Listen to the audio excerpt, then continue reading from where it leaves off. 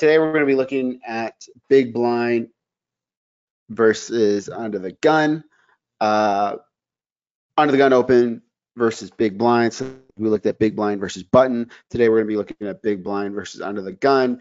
We're going to have a little more structure today. Um, I spent probably like three to four hours studying the these spots over the last couple days.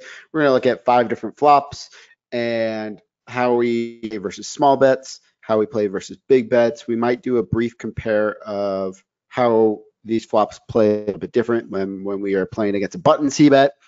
But uh, yeah, a lot of eye, eye-opening stuff. I learned a lot studying this on my own. And today's just going to be kind of a summary of what I did on my own you know how I do a lot of my study sessions on my own. So hopefully you guys enjoy. You guys seem to enjoy the last session. So today we're going to be doing big blind versus under the gun. It's going to be a lot more Pio work, some spreadsheet work, and then next week we're going to get into um, hand examples, real hand examples, and then the following week uh, will be kind of cool. Um, I'm doing a hand history review with Jonathan Little on YouTube. I think. Uh, it's going to be a uh, review. I won a circuit ring the other day, so we're going to do a hand history review of that in two weeks, two or three weeks. So, um, all right. Uh, thank you, Selma. So, um,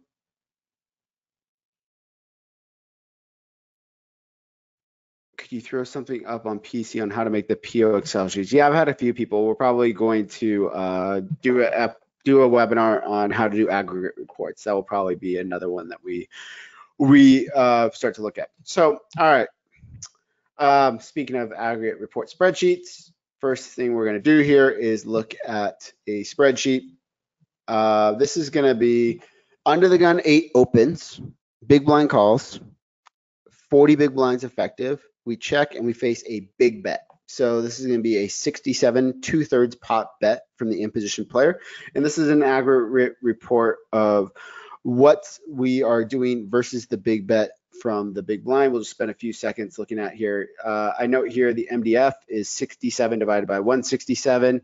Uh, so our fold frequency is 40%. Our MDF is one minus that, so 60%. Um, as you can see here, overall, we're folding 56% we should only be folding 40. So as expected from the big blind, we're going to be vastly overfolding our MDF, uh, facing it under the gun open. Uh, calling 34%. And then we have two raise sizes here. One is a 2.5x raise size, and then one is a 4x raise size. And you can see here we really just do the 4x raise sizing versus this large c-bet. We only really use the small sizing. Uh, only a couple things I wanted to point out on the spreadsheet first before we actually get into hands. Um, First, I have it filtered for the flops that we defend the most. So this is the lowest frequency fold flops. You see these are all flops around 40%. So we're actually clearing the MDF. And if you look, pretty common pattern on these flops.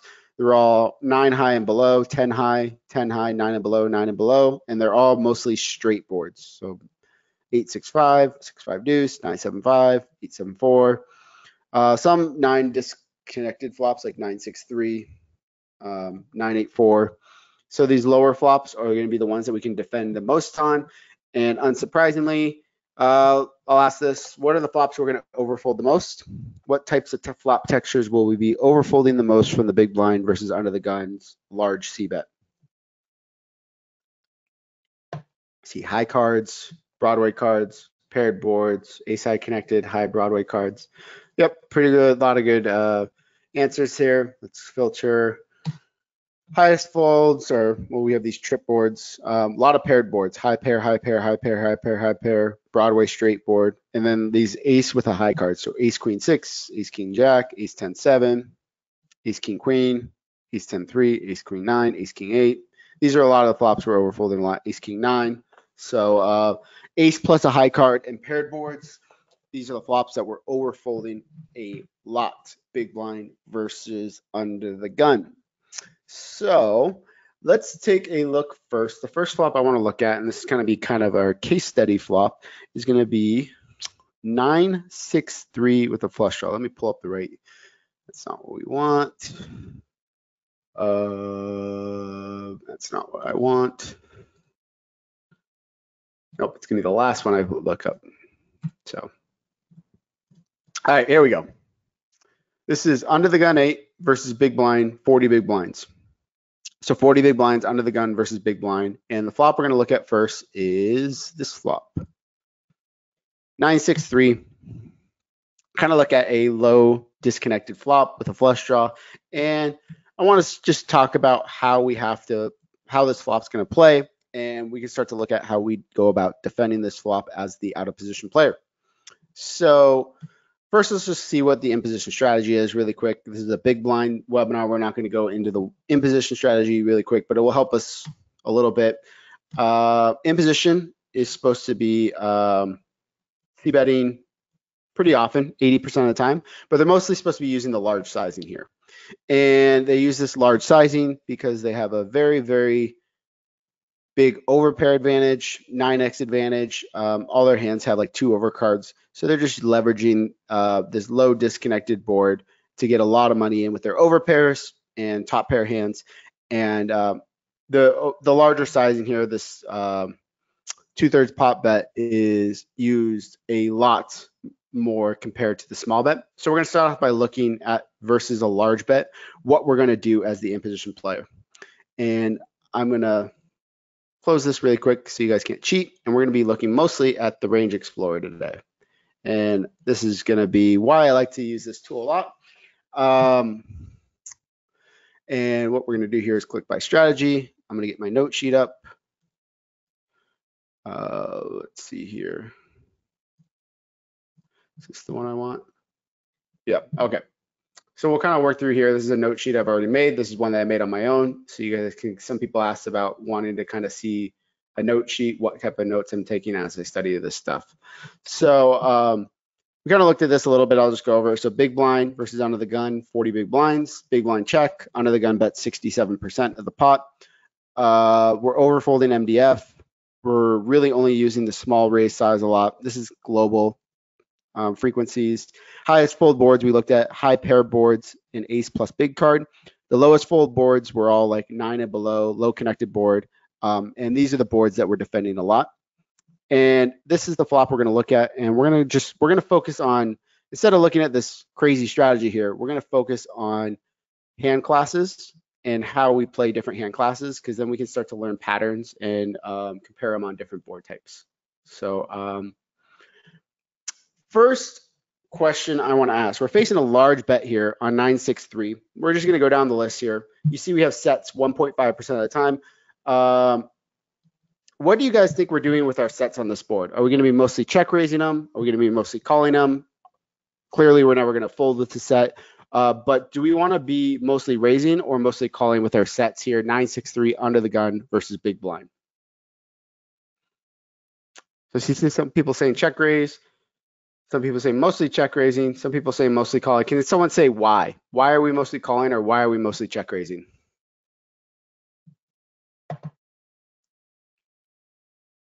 Why are we mostly calling? Why are we mostly check raising?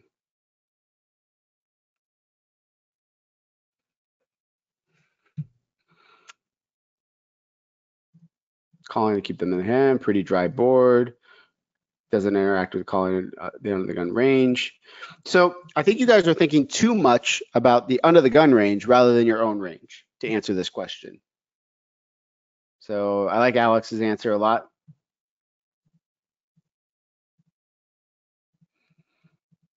So a lot of people are saying we should check raise because there's a flush draw on the board. Some people are saying we should check call because the, it doesn't connect with the under the gun player's range.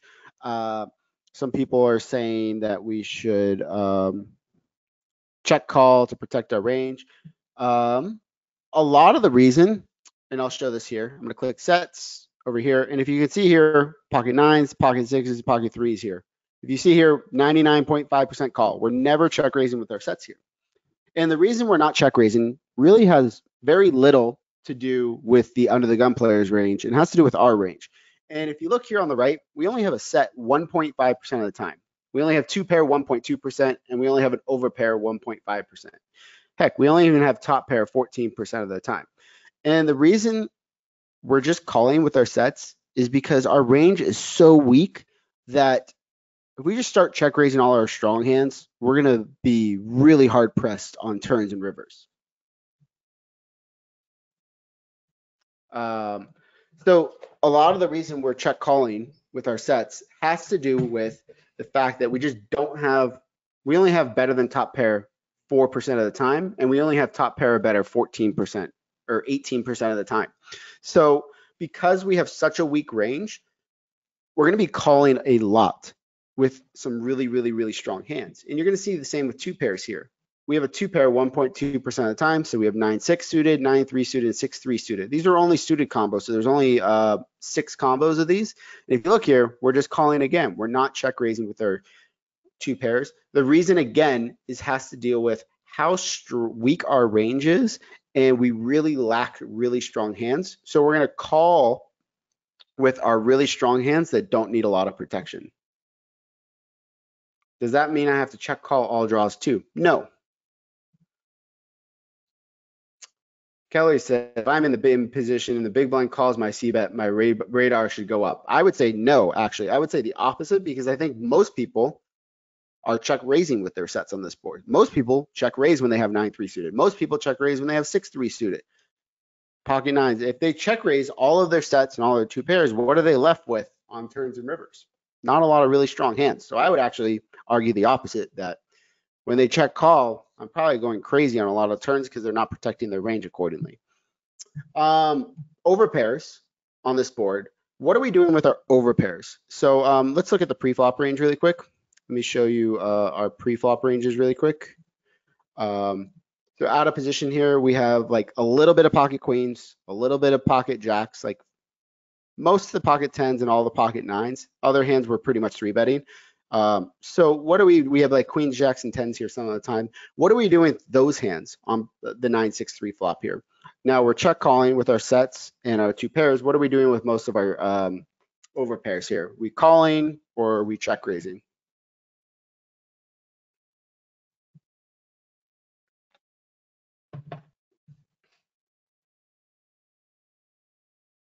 Good. Seems like a lot of people are getting that. So a lot of people are saying we're check raising to deny equity, check raising for protection. Yeah. So this might seem, I see, I saw like a couple of people change their answers where they were saying they would check raise the sets in two pairs. Now they're saying call with the over pairs. If you look here at the over pairs, uh,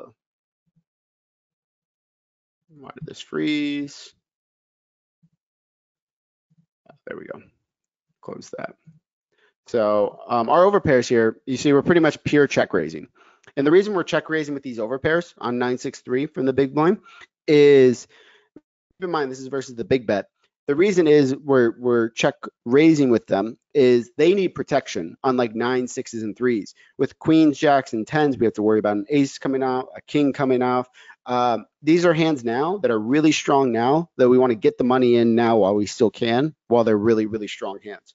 So this is a very common pattern. You'll see that we, we, we fast play these over pairs. We slow play a lot of our sets in two pairs um, when our range is really weak here from the big blind versus under the gun.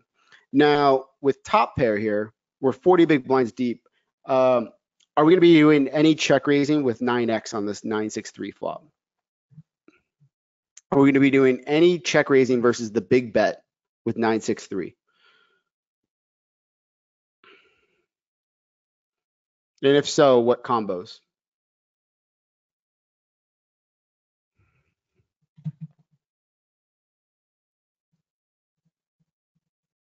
Okay, like John's answer, like Selma's answer, like Colin's answer, like Alan's answer. So if we look at our top pairs here, I guess I should ask where we're folding a, a nine here, but I don't think anyone's going to fold a nine here. So uh, if you see here, we're mostly just calling. The green is call, the red is raise, and a lot of green here. We're just calling. But if you notice here, ace nine, we, you know ace nine stronger. We just decide to raise and get in. Uh, if if they comply, we go ahead and check raise, get it in. Most of the king nine here little bit of check raising with king nine, but then mostly calling. These ones over here are all with flush draws, so nine X of spades, nine eight of spades, nine seven of spades. These are all check raising with the nine X and the spades, but mostly just calling with any of our, any of our top pair. Um, under pair. So that's gonna be on this board, pocket eights and pocket sevens. Do we ever fold pocket eights or pocket sevens here to a big bet on the flop? Are we ever gonna fold with pocket eights or pocket sevens?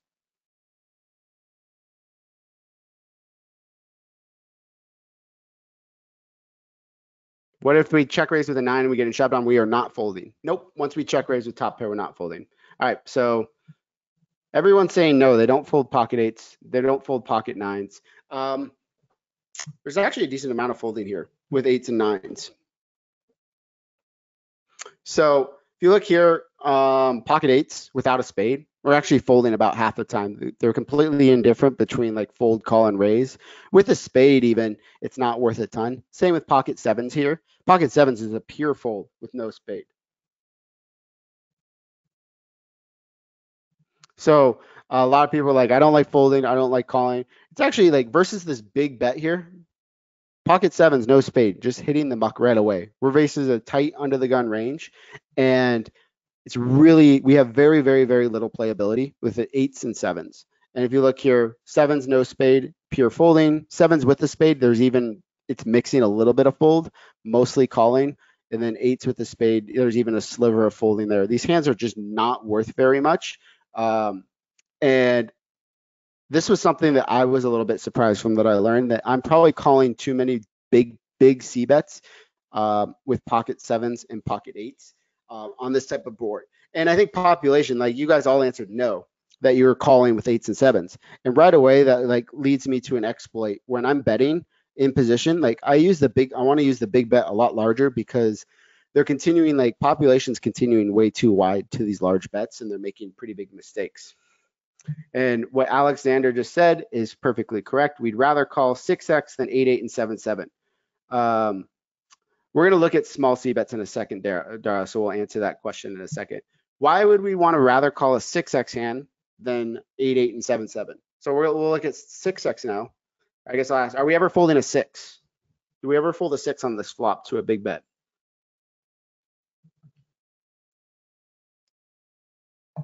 Are we ever folding a 6?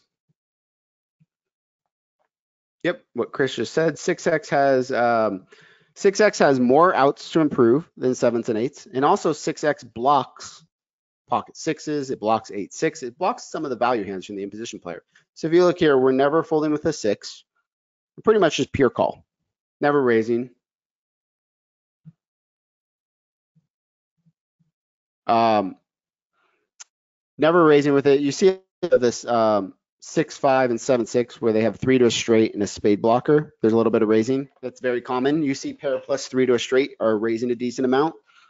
Um, so third pair here. What are you guys doing with uh, pocket fives with the spade on this flop? Fives with a spade. What are you doing? Pocket fives with a spade.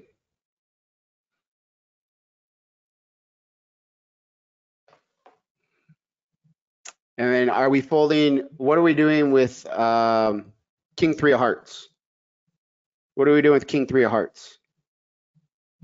Are, are we folding any 3x on this flop?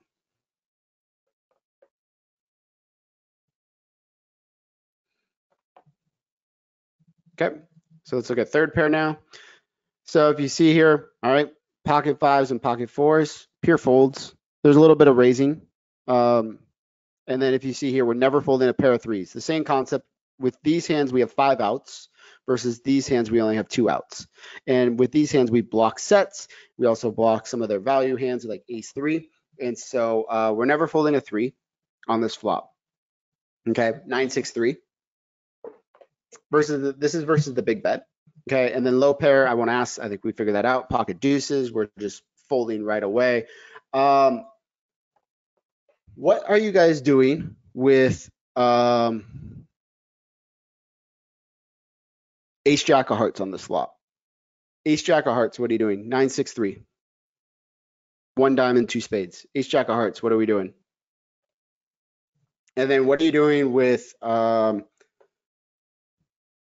ace of clubs, ten of spades?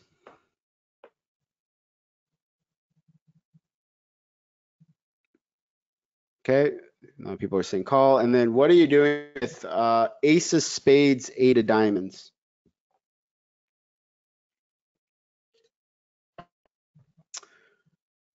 What are you doing with ace of spades, eight of diamonds? All right, the first three answers were fold, call, and raise. That means I, I made a good question. So most people are saying call with ace of spades, eight of diamonds. Okay. Let's take a look here at some of these ace highs, what we're doing here. So we're folding a lot of our ace highs. You see here, we're folding 67% of our ace highs. Um,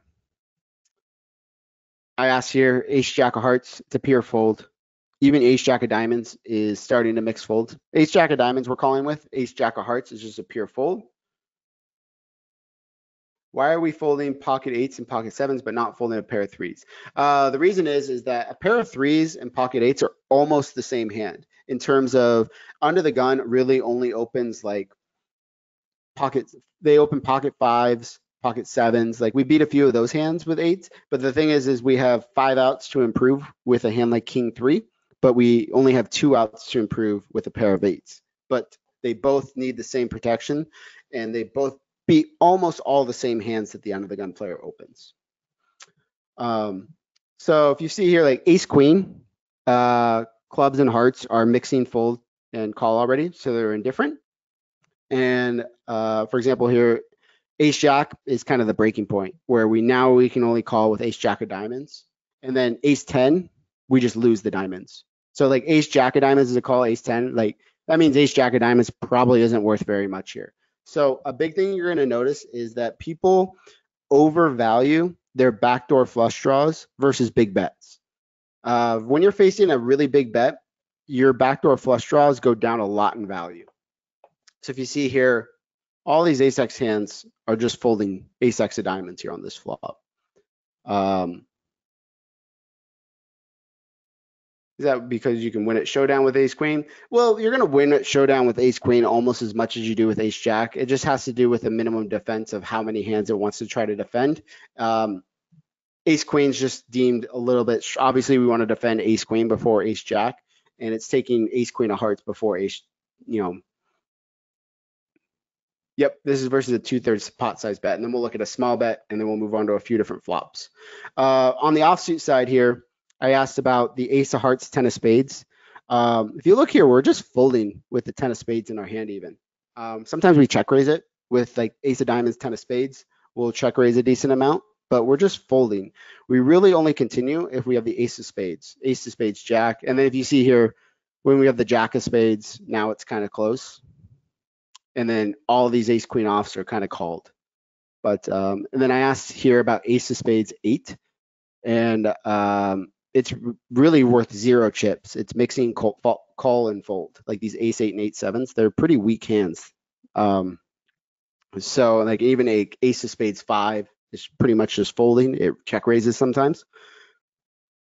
So we're playing pretty tight uh, with these ace highs. We don't have to do anything like we call ace queen basically. Some of these ace jacks with a spade, and that's about it on these ace high hands. And then with king high, we'll just go through this really quick. Um, Again, king queen suited. We just call king queen of diamonds. We don't call king queen of hearts or king queen of clubs.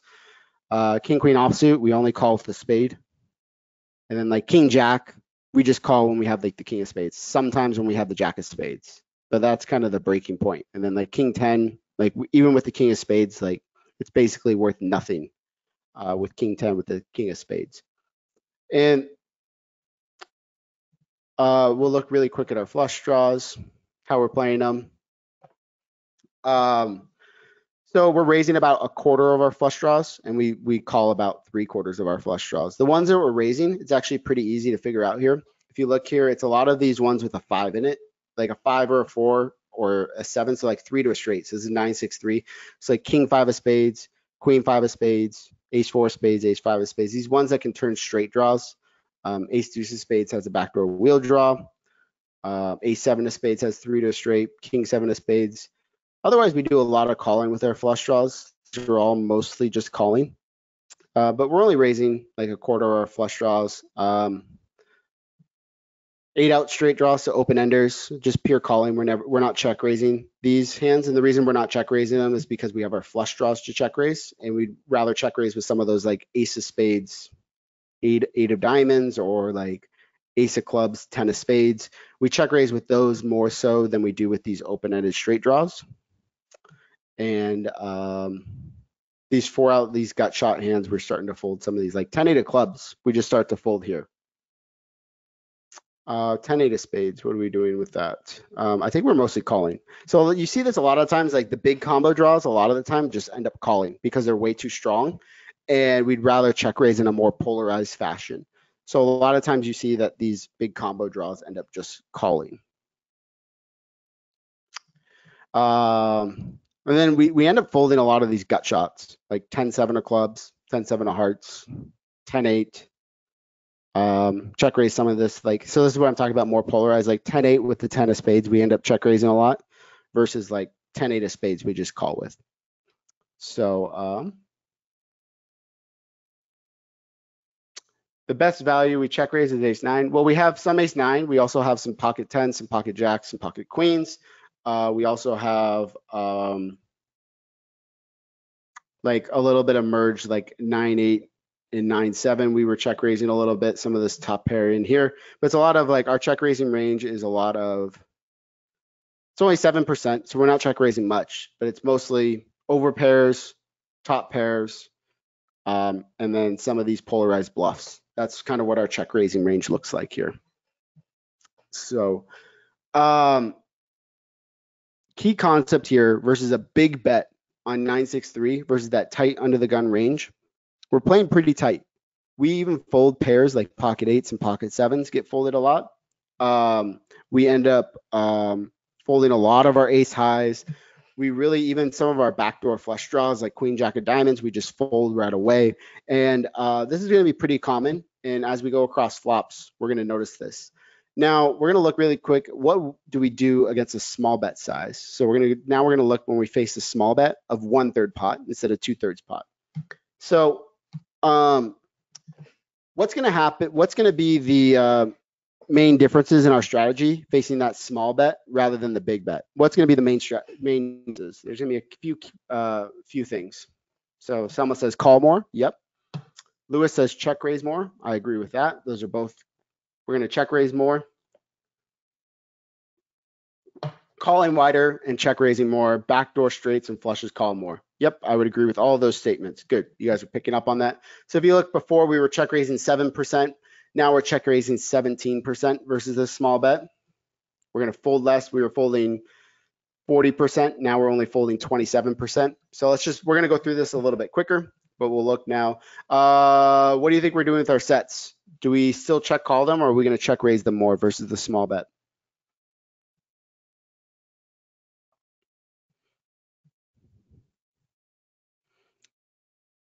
So most people are saying still check raise, still check call them. Um, so mostly we're now we're more of like a 50-50 mix. We still check call them a lot. Um, but we do check raise a little bit more now with our sets. We're check raising them about half the time versus the small bet.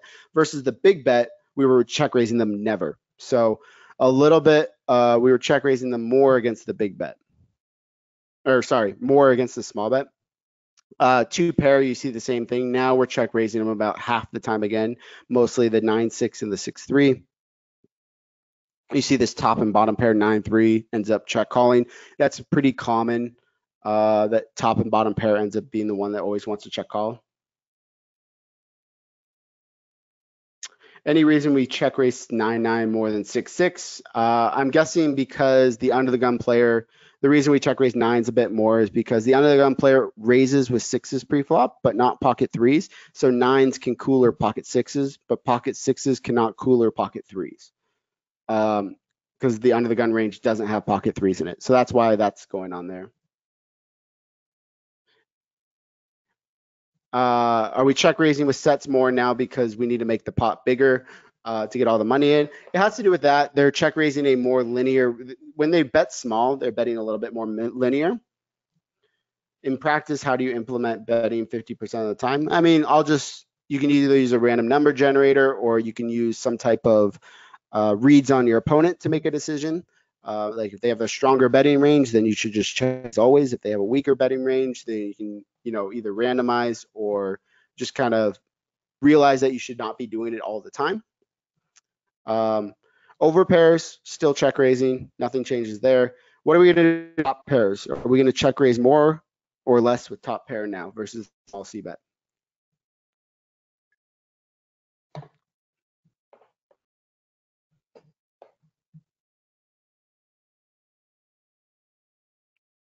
Good. Yep. Versus smaller C bets, we're going to check raise a lot more top pair. So if you look now, now like ace nine's getting check raised a lot. Like these king nine suiteds, nine X with a flush draw get check raised a lot more. Um, a lot more check raising. Some of this king nine gets check raised more. And then you see a lot of this stuff like nine seven suited, nine five suited, nine four suited. These nine X that need more protection. So like nine seven needs a lot more protection than king nine. And the reason is now a king is not a bad card, but for 9-7, all the overcards are still a bad card. So you see more check raising with some of these smaller top pairs that have uh, three to a straight. So like 9-8, 9-7, 9-5, 9-4. Uh, pretty common pattern you'll see across a lot of different situations. Um, how big of the sizing is it? So this is uh, 2.5x still. So still check raising 2.5x. All right, under pairs. So pocket eights and pocket sevens. Are we folding those hands now? Or are we we calling with them? We were folding sevens, no spade versus a big bet. What are we doing with sevens, no spade versus a small bet here? We calling. What are we doing with that? We still folding it some.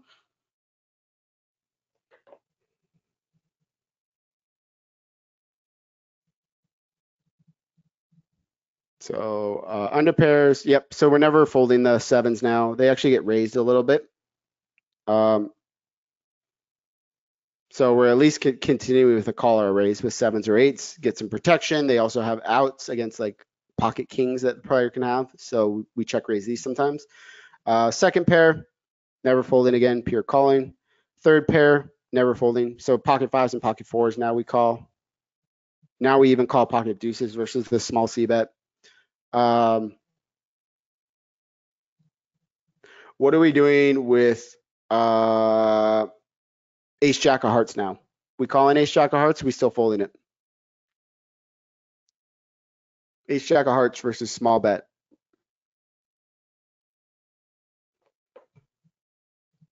So ace jack of hearts now is indifferent between call and fold. It's never raising. Uh, so most people are saying call and take a card off still, but like it's still worth like zero chips. Calling's fine, but we don't need to call every time, and especially against someone that doesn't C bet enough, probably just want to fold. Um, and you see like ace ten of hearts, we're still folding. And then these ones with the spade, you see here, this is where a lot of our check raises come from. Ace of spades seven, ace of spades five, ace of spades four. These ace of spade combos with three to a straight are very, very common check raises. Same here with like king of spades seven, king of spades eight get check raised a lot. Um, king 10 with a 10 of spades, indifferent, mixing, call and fold. And um, a little more aggressive with our flush draws, raising more of our flush draws now. Still mostly just calling, but check raising a little bit with our open enders. So um, we have a few different flops that we want to get through today that we'll go through quicker than we did on this one. But uh, any quick questions on this 963 flop uh, before we move along to uh, our next uh, flop type? Where did my questions box just go? Oh, there it is. Okay, now I can see the questions again. Any other questions on this 963 flop before we move on to a different flop texture?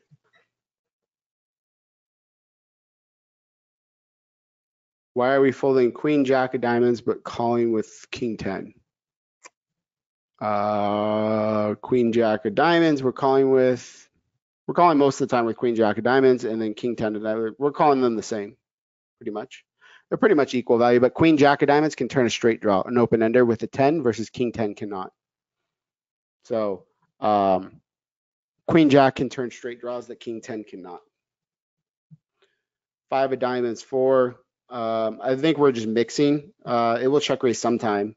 Like it's check raising like half the time, five four with the diamond. But um, or sorry, with a spade. So like five of spades, four diamonds is like a fifty percent. So a lot of a lot of people are like hundred percent one way or the other, and your frequencies can get out of whack kind of quickly. See some of this stuff too, like jack of spades, jack ten with a spade, queen ten with a spade, check raising a lot here. These are common check raises. Again, three to a straight with a backdoor flush draw. So, all right, we're gonna move on to the next flop. Uh, we're gonna skip those until in case because they play kind of similarly. Six five deuce, eight seven three. They play pretty similarly to this nine six three. We'll come back to them if we have time. I want to go to this next flop. Um, we'll have some fun here. All right, we're gonna look at this next flop, which is ace of diamonds, king of spades, jack of spades. Okay, so we're gonna look at a completely different type of flop now. Three big cards. This is a flop. Uh, let's just look here really quick. Um, we check. The in position player bets both small and big here, uh, but they bet 100% of the time. If you see here, there's no checking from the in position player. 2% check, so they're never checking. And they mix both a big bet and a small bet strategy. So we're going to look first at their big bet strategy, what we're doing here on this flop. And first off, we're folding 70% of the time, which is crazy we're overfolding a lot. 70% here versus big bet on ace king jack. And we're going to go through the same drill we just went through, but on this ace king jack flop. So, all right. Same concept, same drill. We're going to go through it here, different flop. Uh, straights, we have 2.6% straights here. Um, what are we doing with our straights now? Obviously, that's just queen 10. Are we mostly calling, mostly raising, 50-50? What are we doing with our straights on this ace king jack flop? raising, calling, what are we doing here?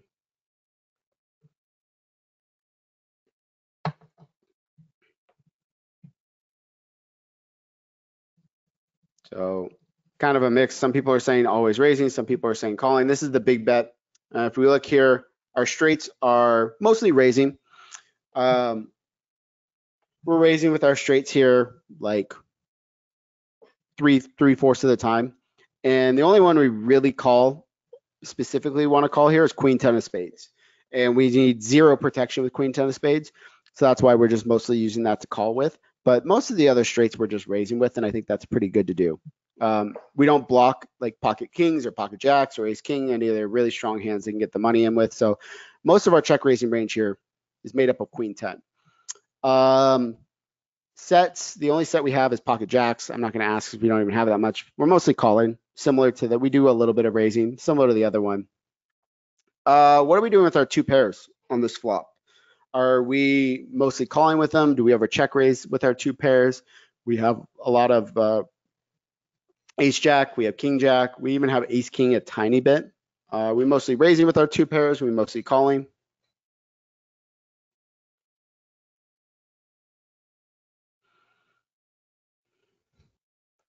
So most people are saying raise. Okay. Uh, if you remember what we were doing last time, like we were mostly just calling with our two pairs, and I think it's going to be the same here. And if you see here, unless we have ace king, which I have a, like a 10% range weight in this pre-flop range, like we raise with ace king, but otherwise, king jack, all these hands we just call with. And the reason we just want to call is they're not like locked hands to win this pot. There's a lot of bad things like any queen, any 10, any spade. Um, there's a lot of like rough cards. And also our range is just not that strong that we want to keep some strong hands in our calling range. What is the biggest difference in betting when both equities have such a big gap between the, uh, I'm not sure if I fully understand the question, Lewis. Um, betting doesn't just have to do with equity advantage. It also has to do with, um, it has to do with also like how equity is distributed, and also like the composition, like the nut advantage. Um, it doesn't just have to do with equity advantage. There's a lot of flops you have a 60% equity advantage, but you don't bet always. Like for example, like an ace king deuce flop, because you don't need any protection. Uh, top pair. All right. Are we ever going to fold an ace on this flop versus big bet? Ace king jack. Do we ever fold an ace?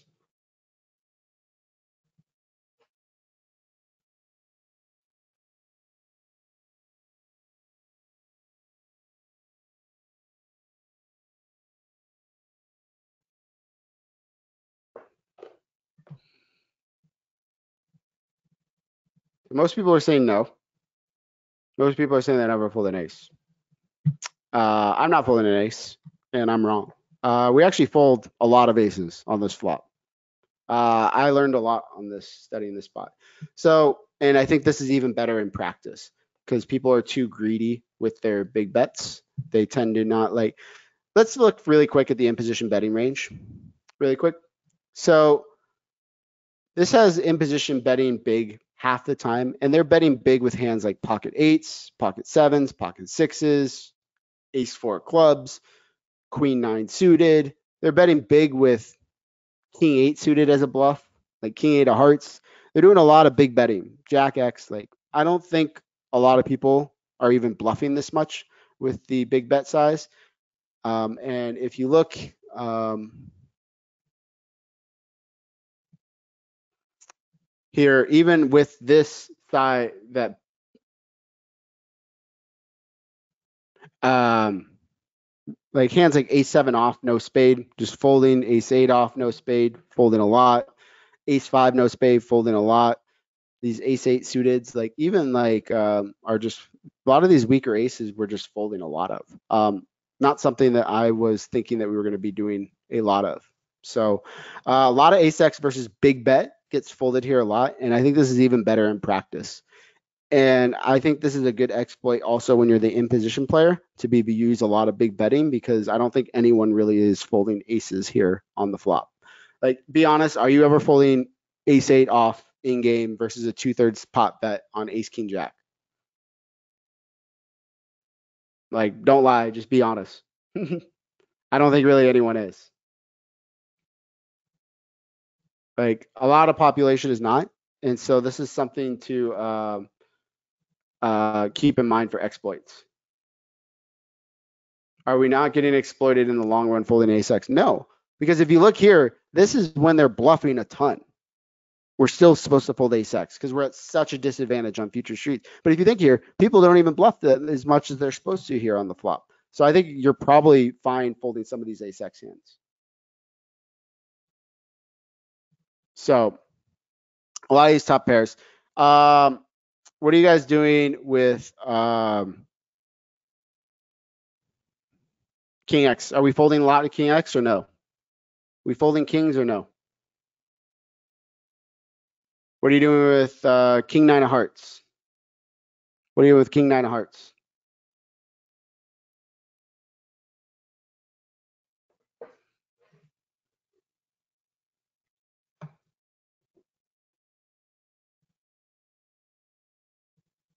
So most of you saying fold to a big bet. Some people are saying call. We're folding 70% of our king X hands. This is like, this flop is so bad for us and it's so good for the under the gun player that we need to respect them.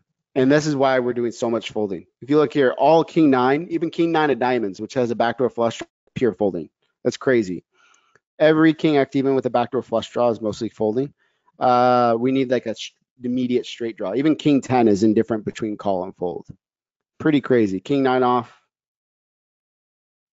Yeah, this is heads up though. Like three ways, yes, I agree. This is an easy fold, but like I'm peeling too many king X hands here for sure versus large bet. And population is for sure as well. Um, do I even ask now, what are we doing with third pair? What are we doing with Jack X? What are you doing with Jack seven of hearts versus big bet?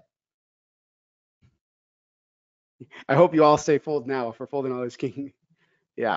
If you look here, look at all this Jack X. Just even Jack 10, which has a straight draw, is like 80% folding. Yeah, we're folding all the kings that don't have a straight draw. Yep. We call a little bit of king three, king deuce of diamonds because they don't block any bluffs from the in position player, but like pretty crazy. Low pairs, pocket tens through deuces, just pure folds. Um, oh, are we folding any flush draws? Are we folding any flush draws on the flop? What are you doing with uh, seven four spades? Yeah, ten of spades continues in the jack ten. Seven four spades. What are you guys doing versus big bet?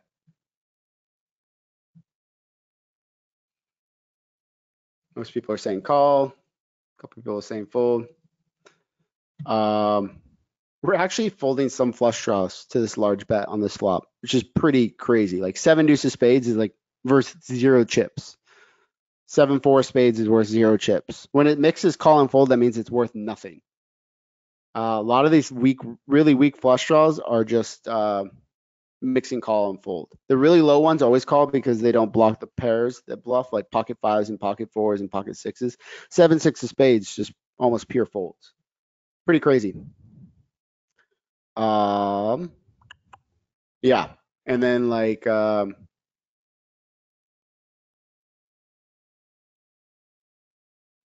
yeah, I'm never folding a flush draw here, but this is just showing you how much respect we need to give to the under the gun player on this flop. Some of our check raises come from like these weak um, queen X hands, like queen X of spades. Um, some of these 10-5 of spades are raising. So like queen X of spades, 10-5 of spades, those are raising some of the time. But um, yeah, this flop was pretty crazy. Now let's look versus small bet and see what happens. Um, population uses a small bet a lot, and let's see how our strategy changes versus small bet. So uh, versus small bet here, uh, straights, um, still mostly raising, but a little bit of calling with the uh, queen 10 straights. Um, sets, pure calling with jacks, just protecting our range. Two pairs, same thing. We're pretty much still just calling, not check raising. Um, top pair, are we going to fold any ace X to the small bet on the flop? Do we fold any ace X to small bet? 33% pot. So most people are saying no. I mean, I'm not. So we're not. Good. 0% fold the top pair. Uh, we raise, these are all flush draw ace X hands that we raise now. Um, all right. Do we fold any king X to a small bet? Are we folding any uh, second pair to small bet? So most of you guys are saying no, never. I think we're going to fold a lot of king X. I, I studied this yesterday, so I already know the answer. We're folding a lot of king X. We're still folding over half of our kings on this board. King forward, the, these are just with diamond backdoor flush draws. This is to a one third pot bet, guys. King seven, king six, king four. King nine off, pure folding. King eight off, king seven off, just pure folding. We need a backdoor flush draw or a straight draw to continue with a king X on this ace king jack board. A really, really bad board for us. Really good board for under the gun. Uh, folding a jack X. I mean, clearly we're folding jack X. Like even jack nine of diamonds with a backdoor flush draw is just getting folded. Uh, a lot of jack X is folding. Jack 10 now can continue. Uh, still folding all these pairs. Pocket 10s starts to bluff raise now a little bit, but uh, 10s is even folding with the gut shot. Uh, not folding any flush draws. That's good to know. Queen X needs a flush draw to continue. So uh, yeah, this flop is crazy. This ace king jack. Do you guys want to look at this versus button again? This ace king jack flop to see what we do if anything changes versus the button. All right, let's pull up versus button here. 40 big blinds since we looked at that last time. So this is button versus big blind, 40 big blinds. So the big difference here is now we have, we lose a lot of ace queen. We lose a lot of ace jack now that we had in the previous spot. We also lose pocket nines, pocket eights. Um, our range got a little bit weaker now on the button or in the big blind. Let's look here, uh, ace, king, jack. Okay, uh, check. Again, the in position player uses this big bet a lot. So let's look at the big bet. They do have a checking range on this board. So let's see here. Um, okay. So straights. Um, again, we're raising about half the time. Uh, we don't have any sets on this board. Two pairs, ace jack, king jack. So we do raise some of our two pairs now. Button versus big blind. This is still 40 big blinds. Uh, top pair, so we never fold an ace versus the button. Good. Um, are we going to fold any king X versus button? Big bet. Do we fold any king X? So we did. We folded like almost all our king X versus the under the gun player. Do we fold versus the button?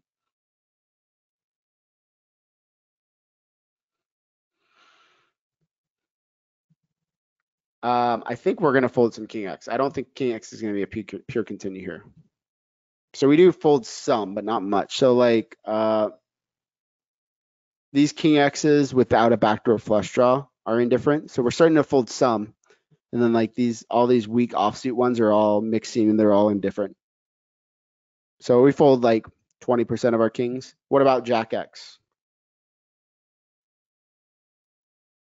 I think Jack X is going to be like pure fold without a backdoor. I don't think we're folding. I don't think we're calling a lot of Jack X here. Yeah, so this plays more like a King X before. We need a backdoor flush draw. So these are all Jack X of diamonds. These all have, um, or sorry, a spade in it. So these are all Jack X with a spade. So we're folding now all our Jacks versus under the gun, we fold all our, our, our Kings. I'm too loose. So this is versus big bet. A lot of people call big bets way too much um, in on early streets, and then we just fold all our pocket pairs. Um, never fold a flush draw. So folding a lot of Queen X and 10X. So that is versus button. Okay. Uh, what other flop do I want to look at? Um,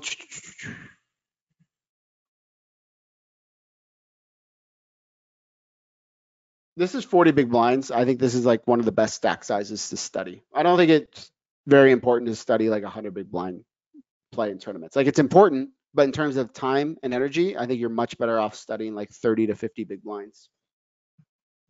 Um, which flop of these do you guys want to see? Or do you have a different flop type that you want to see here? Um, let's look at ace, queen, six, rainbow. Actually, let's look at, okay, someone said a paired board. All right, let's look at a paired board. Um, I'll pull up the spreadsheet and you guys can pick a paired board.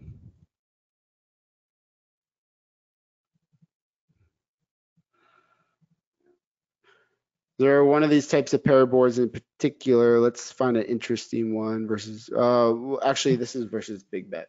That doesn't get, big bet doesn't get used much on paired boards. Uh, let's see here. Jack six six. All right, we'll look at Jack six six.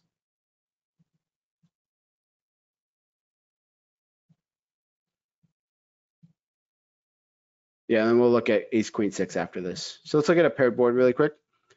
So um, uh, only small betting. This is under the gun versus big blind again. Under the gun versus big blind.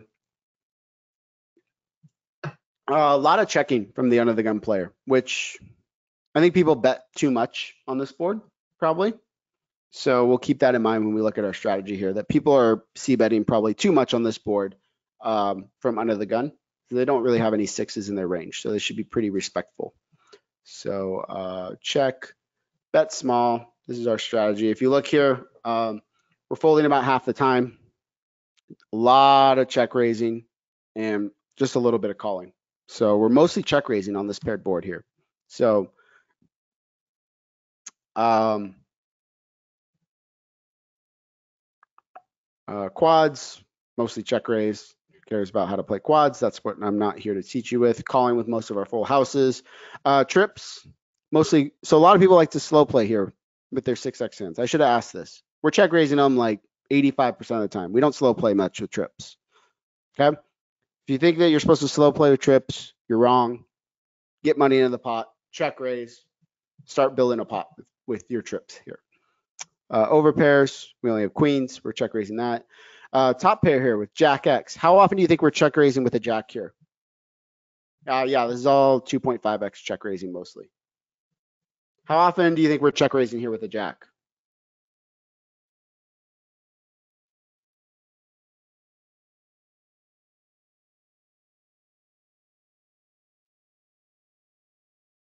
So I've seen always, 50%, and never. that means I asked a good question versus under the gun, don't check raise. I'm gonna say we check raise like um, probably a little bit over half our top pair. Perfect. 53%. So like ace jack, king jack, queen jack. So we're check raising a lot of our top pair. Uh, these weaker ones we just mostly call. Why are we check raising with trips, but not check raising with a set of nines or sixes like before? Uh, the reason we're not check raising with nines or sixes before is because our range was so weak and we didn't have many strong hands. We, we had sets, but that was only 1% of our range. Here we have trips over like 8% of the time. Like we have a lot of really strong hands now. Like we have trips or better almost 8% of the time, whereas before we had trips or better like 2%. So we have four times as many combos of really strong hands to choose from here. And so it allows us to check raise more. So um, here uh, we're check raising a lot of our sixes, top pair, mostly check raising, check call a lot of our weaker ones. Um, check calling with a lot of our under pairs, never folding a pair of sevens here. Uh, why are we check raising a lot of these deuces, threes, fours, and fives? Why are these hands check raising instead of check calling? I think a lot of people just check call these hands. Why are we check raising? So someone says bluffing, someone says protection, but why why are these hands that we want to bluff with? Why do we want to bluff with fives, fours, threes, and deuces? Because I don't think they're natural hands to bluff with. They benefit from folding out overcards. Yep, that's true. They need protection. That's true. Range advantage on a pair of six. That's true. That's not the main reason though. No one's hit the main reason why these are good hands to bluff it with. Hand can't get any better on future streets. That's not true. We have the nut advantage. They don't block ace, king, queen, jack. We have more sixes in the big blind we can rep. No showdown value. No one's still heard, no one still said the reason. Two outs to the nut still. There we go. Someone still got it. Alex Alexander got the reason. There's not a lot of hands that have equity against pocket kings on this board. It's pretty hard to have, doesn't have to do with balance. If the opponent has pocket kings, when we check raise, they're probably just going to call because we have so many sixes in our check raising range. And it's pretty hard to have a bluff that still has equity against pocket kings or pocket aces or pocket queens. Deuces, threes, fours, and fives, they benefit from folding out over cards, like people said, but they still have outs to beat pocket kings, beat pocket queens, beat ace six suited, beat king six suited, beat seven six suited. We can still beat um, some hands in the in position's range by the river with some of these pairs. So that's why a lot of them they uses a lot of these hands on paired boards as bluffs. But not like we weren't using tens, nines, eights, and sevens. Those are strong enough to call, and then we were bluffing with some of those. That's what's going on there. I'm not saying that's necessary if you want to incorporate that or not, but I'm trying to explain what's going on here. Uh, ace highs, these are mostly flush draws, raising a lot here with the ace of spades. Ace of spades is almost like pure raising. So pretty much raising with all of our ace of spades combos. Pretty aggressive. Uh, and then um, a lot of these king x flush draws, king of spades combos are raising. Again, having an overcard to the jack is important. A lot of check raising on these boards. Is it raising with Jack nine also a bluff? No, because when you raise with Jack nine, they're going to call you with pocket sevens, pocket eights, pocket nines, ace king, ace queen. They're still going to call you with a lot of hands. So uh, we're gonna look at ace queen six really quick. That was one of the other boards that I was looking at. And this is a rainbow board. So we haven't looked at a rainbow board yet. What's the biggest difference between a rainbow board and a two-tone board in our defending strategy? What's the biggest difference between a rainbow board and a two-tone board in our defending strategy? Overfolding more, don't have many draws. Perfect. Yep. So uh, defending more with higher cards. All right. So ace queen seven rainbow or ace queen six rainbow. In position, still using a lot of this big bet. So in under the gun, you get to use a lot of really big C bets because you have really strong ranges so you're able to put more money into the pot. So we're going to look at versus big bet again. Um, and if you see here on ace, queen, six, rainbow, we're doing a ton of folding again. Ace, king, jack, it's going to play a lot similar to this ace, king, jack board. So um, sets. Now we're raising with our pocket sixes a lot. Um, why are we raising more with sixes?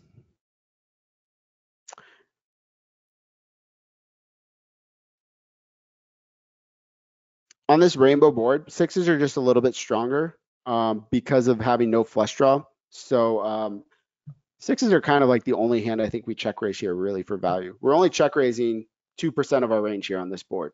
So we're not check raising much at all, 2%. So um, just keep that in mind. Um, ask this, if we're check raising pocket sixes as our, as our main value hand, if sixes are our main value hand, what are gonna be our main bluffs? What are gonna be our main check raise bluffs if we're check raising mostly there, we go. there you go. Salim got it right away. Salim's still the only one that's got it right. Colin got it right. Two people have gotten it right. Lewis got it half right. So a lot of people are saying gut shots, backdoor flush draws. So the easiest way to know what hands to check raise bluff with is to match cards. Okay, card matching. So if we're check raising pocket sixes for a bluff, what hands match with sixes to bluff with? A pair of sixes. So a lot of our bluffs are probably going to come from a pair of sixes. I'll, imagine. We'll get to that. So um, are we going to fold any top pair? Ace, queen, six, rainbow. Are we folding any top pair? So this is our two pairs here. Check queen six. We we check raise two some. Are we going to fold any ace x here on ace, queen, six, rainbow? So we folded it on the ace, king, jack with a flush draw. We're going to fold any um, top pair on ace queen six to a big bet.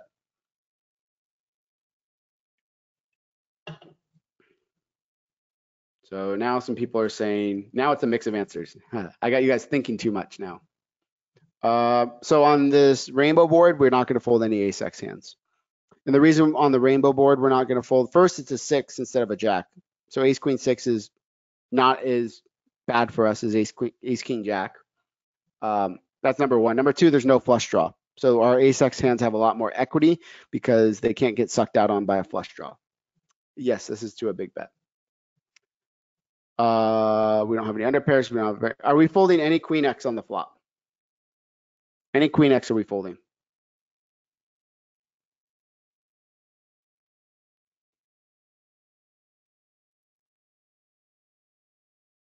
So it's 50-50, yes and no. Give me some reasons why. Most people are saying, half the people are saying, yes, we fold some queen X, half the people are saying no. What are you guys doing with uh, queen 10 of hearts? Queen 10 of hearts, what are we doing?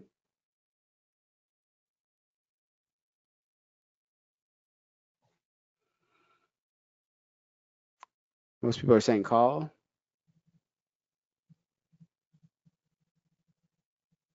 Yeah, we're folding a lot of our queen X here. So if we see here, we're folding like um, half of our queens on this board. So um, queen 10 of hearts is a pure fold. Uh, we only call these queen X's with backdoor flush draws, basically. These are all just with backdoor flush draws. Pretty much just folding the ones with flush, uh, with hearts. And then if you look here, like queen jack off, just pure folding. Um, all right, be honest with yourself. I'll be honest, I was not before I studied this for like three hours yesterday. I would never have folded queen jack off suit here to a two thirds pot bet on ace queen six rainbow. Are you guys folding queen jack off here to a two thirds pot bet on ace queen six rainbow? I wasn't. I was calling. No. So, all right. Every single person in the chat, I want. I want to read some stuff for exploits. So how I use this now in my game to incorporate exploits. Every single one of you said you would call two thirds pot bet with queen jack on ace queen six. Okay. What should your adjustment be knowing that and seeing this simulation from the solver? What should your adjustment and exploit be from the in position player? There should be two main exploits you should use. What are the two main exploits you should use as the in position player when you're the under the gun player here facing the big blind?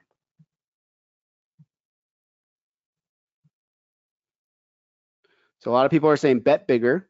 So I would agree with that. So bet bigger uh, with the stronger parts of your range. I would agree with that. And there's one other one that's a little harder to figure out. There's one more big exploit.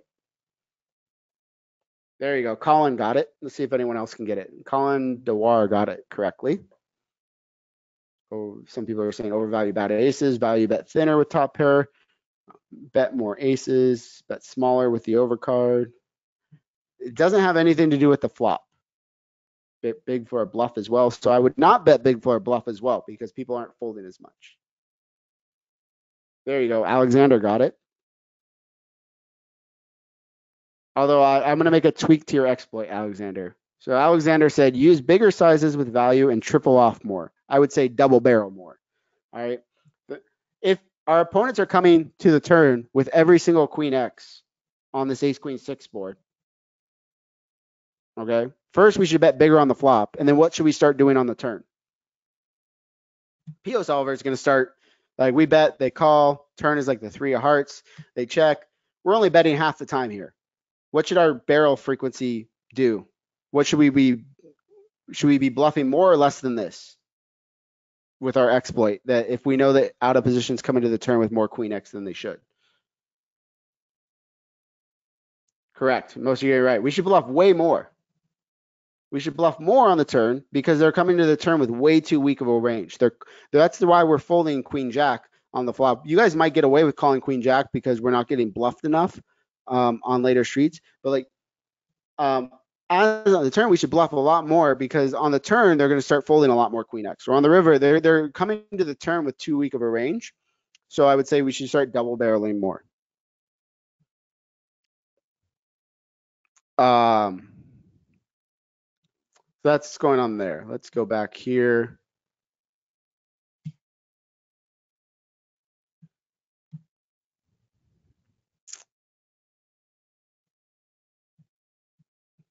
So playing the turn, we're focusing still on flop play mostly here. So we're not going to go into the, the deep dive on the turn play stuff yet. That's going to be for a different webinar because we're almost done here. We're already going over a little bit. Um, what else here? Um, pocket fives and deuces, pure folding. Oh, third pair. This is what I want to talk about. So 6x now, we're just pretty much pure folding on this board. Ace, queen, six, rainbow. We're still just folding a lot of our 6x hands.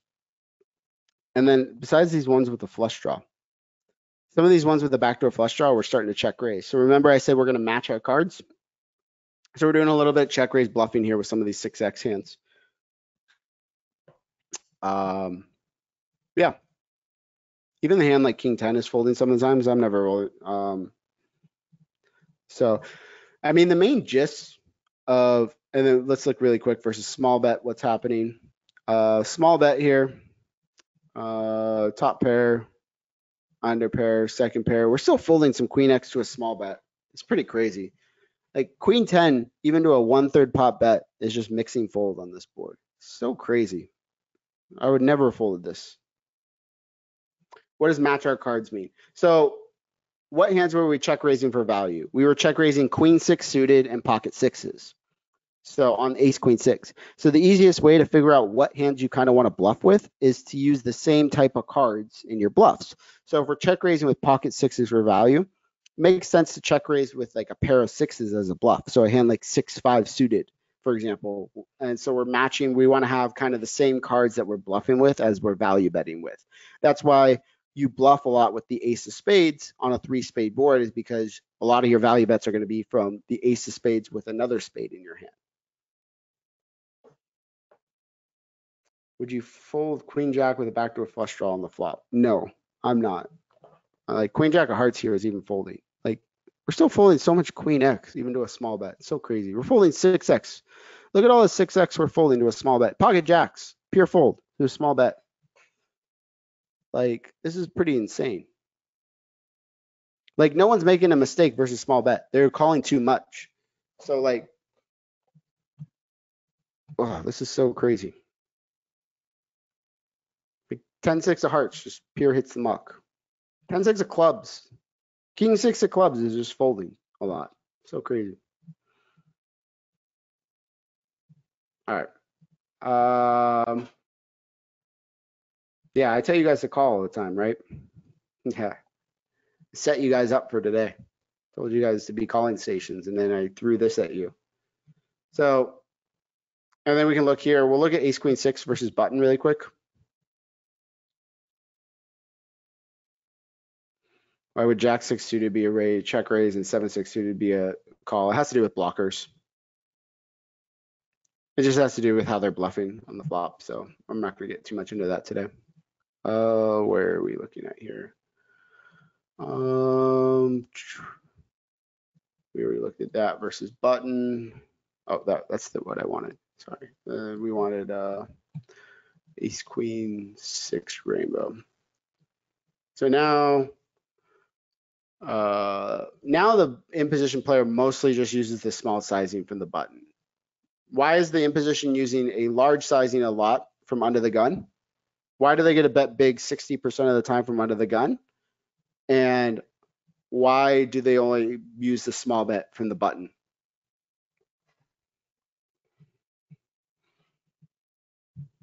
Yep, they have what the it all has to do with the, their range, and they just pick up a bunch of junk.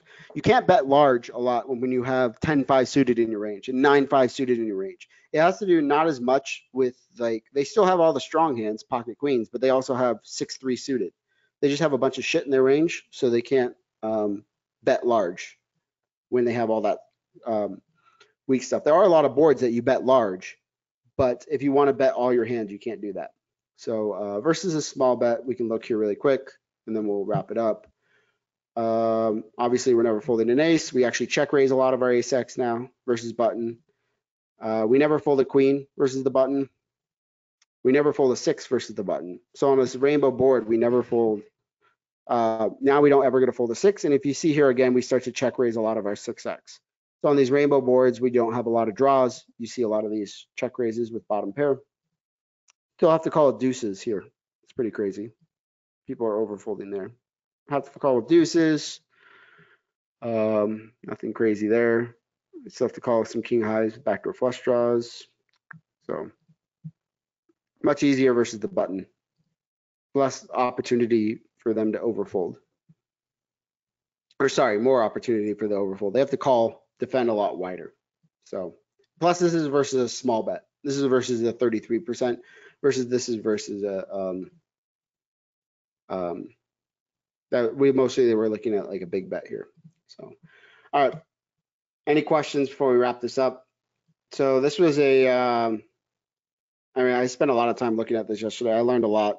Um, definitely, I was calling too much versus early position from the big blind. I think I fixed a lot of leaks in my game. Hopefully, fixed a lot of leaks in your game. Next week, what we're going to do is kind of put it all together for the last two weeks. So what we're going to do is I'm just going to filter my database for hands versus button versus under the gun and versus button. And we're just going to go through as many hands as we can. We'll use Pio solver. We'll look up sims and we're just going to try to put everything together into practice now, um, looking at these big blind defense spots. Can you explain all the columns in the Excel sheet? Um, I'm not going to do it right now. If you look at my previous webinars, I've done it, but it's just the frequencies. It's an aggregated report of all the different flops and the frequencies. It's just taking the data from Pio Solver and putting it into a spreadsheet form. So I'll probably do a whole webinar on aggregated reports sometimes. Welcome to PC Pro, Liam.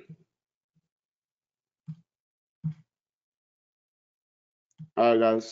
Awesome. Thanks a lot. Um, I will see you guys next week. It's going to be the earlier time again.